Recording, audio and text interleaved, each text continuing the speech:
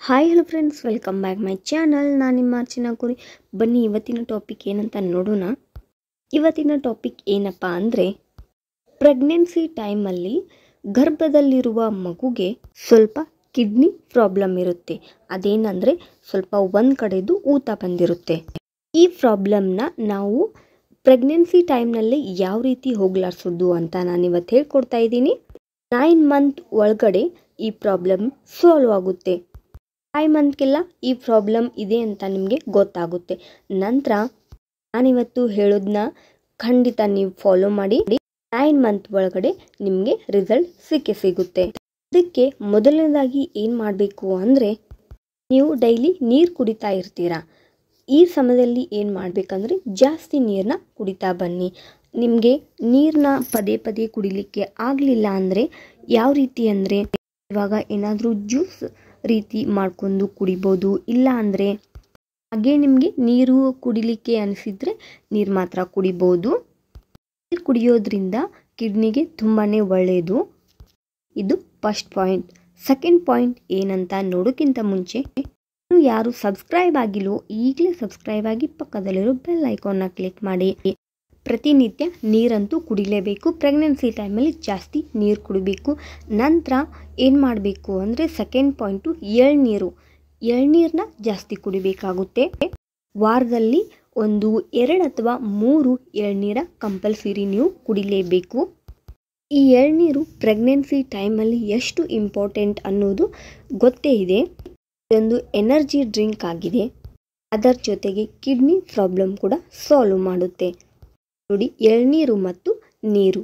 ಎರಡೂ ಕೂಡ ಪ್ರೆಗ್ನೆನ್ಸಿ ಟೈಮಲ್ಲಿ ನೀವು ತಗೊಳ್ಳೇಬೇಕು. ನೋಡಿ, ಇವಾಗ ಎರಡು ಪಾಯಿಂಟ್ ಆಯಿತು. ಇನ್ನು ಮೂರನೇ ಪಾಯಿಂಟು ಏನಂತ ನೋಡೋಣ ಬನ್ನಿ.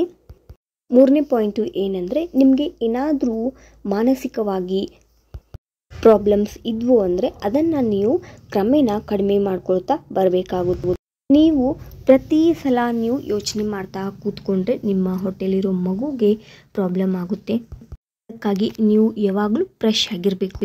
ಇದರ ಜೊತೆಗೆ ಡೈಲಿ ನೈಟು ಎರಡು ಖರ್ಜೂರನು ಕಂಪಲ್ಸರಿ ನೀವು ತಿನ್ನಲೇಬೇಕು ನಿಮಗೆ ಹಾಲು ಕುಡಿಯೋ ಅಭ್ಯಾಸ ಇದ್ದರೆ ಒಂದು ಲೋಟ ಹಾಲು ಕುಡಿಯೋಕ್ಕಿಂತ ಮುಂಚೆ ಎರಡು ಖರ್ಜೂರನ ತಿನ್ಬಿಟ್ಟು ಒಂದು ಗ್ಲಾಸ್ ಹಾಲನ್ನ ಕುಡೀರಿ. ಖರ್ಜೂರ ಬಂದ್ಬಿಟ್ಟು ನಮ್ಮ ಕಿಡ್ನಿಗೆ ತುಂಬಾ ತುಂಬ ಒಳ್ಳೆಯದು ಕಿಡ್ನಿಗೆ ಬೇಕಾಗಿರೋ ಎಲ್ಲ ಪ್ರೋಟೀನ್ ಅಂಶಗಳು ಈ ಖರ್ಜೂರದಲ್ಲಿ ಇರುತ್ತೆ. ನಾನು ನೀವು ಡೈಲಿ ನೈಟು ಎರಡನ್ನ ತಿನ್ನಬೇಕು ಅಂದಾಗ ನಿಮಗೆ ಆರೋಗ್ಯವಾದ ಮಗು ಪಡೆಯೋಕ್ಕೆ ಸಿಗುತ್ತೆ. ನಾಲ್ಕನೇ ಪಾಯಿಂಟ್ ಬಂದ್ಬಿಟ್ಟು ಖರ್ಜೂರ ಆಯಿತು. ಇವಾಗ ಐದನೇ ಪಾಯಿಂಟು ಇಂಪಾರ್ಟೆಂಟ್ ಆಗಿದೆ. ಐದನೇ ಪಾಯಿಂಟು ಹೇಳೋಕ್ಕಿಂತ ಮುಂಚೆ ನಿಮ್ಮ ಪ್ರೆಗ್ನೆನ್ಸಿ ಟೈಮಲ್ಲಿ ನೀವು ಜಾಸ್ತಿ ರಿಲ್ಯಾಕ್ಸ್ ಮಾಡಬೇಕಾಗುತ್ತೆ. ತುಂಬಾ ಒತ್ತಡದ ಜೀವನವನ್ನು ನೀವು ಕಳಿಬಾರ್ದು. ನೀವೇನಾದರೂ ಒತ್ತಡದ ಜೀವನವನ್ನು ಕಳೀತಾ ಇದ್ದರೆ ಅದು ನಿಮ್ಮ ಮಗುವಿನ ಮೇಲೆ ಪರಿಣಾಮ ಬೀಳುತ್ತೆ. ಆರೋಗ್ಯವಾಗಿ ಇರ್ತೀರೋ ಅದೇ ರೀತಿ ಮಗು ಕೂಡ ಆರೋಗ್ಯವಾಗಿರುತ್ತೆ. ಜೊತೆಗೆ ಸ್ಟ್ರಾಂಗ್ ಆಗಿ ಬೆಳೀತಾ ಬರುತ್ತೆ. ನೋಡಿ, ಇದೆಲ್ಲ ಆದಮೇಲೆ ಲಾಸ್ಟು ಇಂಪಾರ್ಟೆಂಟ್ ನಾನು ಏನು ಹೇಳ್ತಾ ಇದ್ದೀನಿ? ಒಂದು ಎಕ್ಸಸೈಸ್ ಹೇಳ್ತಾ ಇದ್ದೀನಿ. ನಿಮ್ಮ ಮಗುವಿನ ಕಿಡ್ನಿ ಪ್ರಾಬ್ಲಮ್ ಸಾಲ್ವ್ ಆಗೋಕ್ಕೆ ವೆರಿ ಇಂಪಾರ್ಟೆಂಟ್ ಎಕ್ಸಸೈಸ್ ಇದು. ಅದು ಏನಂದರೆ ಬಟರ್ಫ್ಲೈ ಎಕ್ಸಸೈಸ್ ಇವತ್ತು ನಾನು ಹೇಳ್ತಾ ಇರೋ ಬಟರ್ಫ್ಲೈ ಎಕ್ಸಸೈಸ್ ಪ್ರೆಗ್ನೆನ್ಸಿ ಟೈಮಲ್ಲಿ ಫೈವ್ ಮಂತಿಂದ ನೀವು ಮಾಡ್ತಾ ಬಂದರೆ ಖಂಡಿತ ನಾರ್ಮಲ್ ಡೆಲಿವರಿಗೆ ಹೆಲ್ಪ್ ಆಗುತ್ತೆ.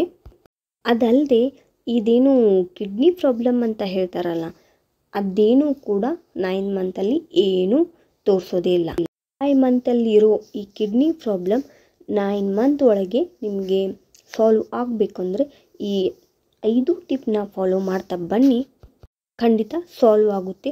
ಈ ಬಟರ್ಫ್ಲೈ ಎಕ್ಸಸೈಸನ್ನು ನೀವು ನೈಟ್ ಮಲಗೋಕ್ಕಿಂತ ಮುಂಚೆ ಡೈಲಿ ಹತ್ತು ನಿಮಿಷ ಮಾಡಬೇಕು. ಅಂದಾಗಲೇ ರಿಸಲ್ಟ್ ಸಿಗುತ್ತೆ. ವಿಡಿಯೋ ಇಷ್ಟ ಆದರೆ ಲೈಕ್ ಮಾಡಿ ಶೇರ್ ಮಾಡಿ ಮತ್ತು ಕಮೆಂಟ್ ಮಾಡಿ. Thank you for watching keep support